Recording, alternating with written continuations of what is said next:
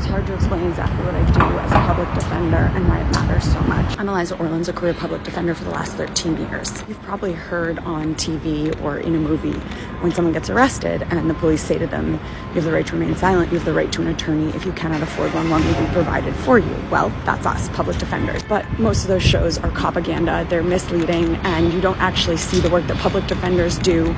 Um, public defenders are often portrayed as incompetent or lazy.